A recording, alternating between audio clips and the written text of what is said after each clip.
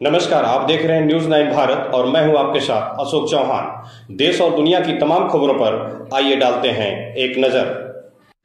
आजमगढ़ के बिलरियागंज में शिक्षा और प्रेरणा की दीपक आनंद मेमोरियल एकेडमी ने अपने वार्षिक परिणाम वितरण दिवस 2023-24 को बड़े धूमधाम से मनाया। इस आयोजन ने शिक्षा, कला, खेल और कविता के क्षेत्र में उल्लेखनीय उपलब्धियों को प्रस्तुत किया। कक्षाओं में तालियों की गूंज से छात्रों को उनके सही सम्मान के साथ साथ उनकी उच्च शैक्षिक परिणामों का गर्व है। उनकी पढ़ाई में लगाव और संघर्ष ने उन्हें उत्कृष्टता के नए मानकों की ओर बढ़ने का मार्ग दिखाया है।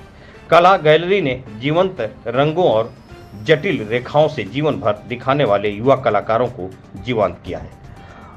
ऑब्स्ट्रैक्ट श्रेष्ठ कृतियों से लेकर जीवंत दृश्यों तक उनकी रचनात्मक की कोई सीमा नहीं है।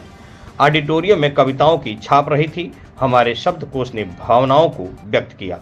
प्यार, आकुलता और सहनशीलता की कहानियों को बुना।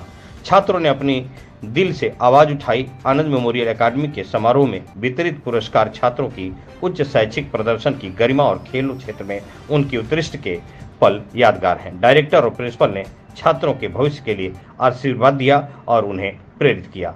न्यूज़ नाइन भारत के लिए संवाददाता अशोक चौहान की खास रिपोर्ट। यहाँ खबरों का सिलसिला कभी नहीं थमता। सिर्फ़ और सिर्फ़ बने रहिए न्यूज़ नाइन भारत पर। अब चाहूँगा इजाज़त। नमस्कार।